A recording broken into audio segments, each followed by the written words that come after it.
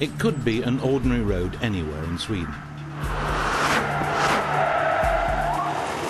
But this idyllic picture is an illusion. This is Hällered.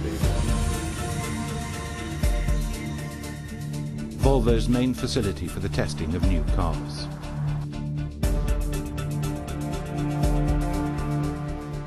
From a new car model coming out onto the track for the first time, to the systems and components that operate together in a car being tested and evaluated in a real-life situation.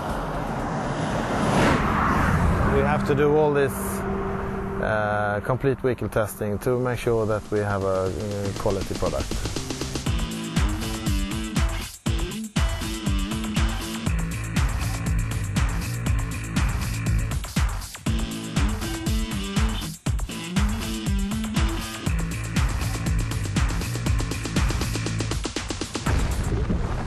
The core and pride of Hällered is the oval high-speed track, like an endless motorway. It's a, it's a main track where with, uh, with banked uh, curves, which makes it possible for you to drive up to 250 kilometers an hour.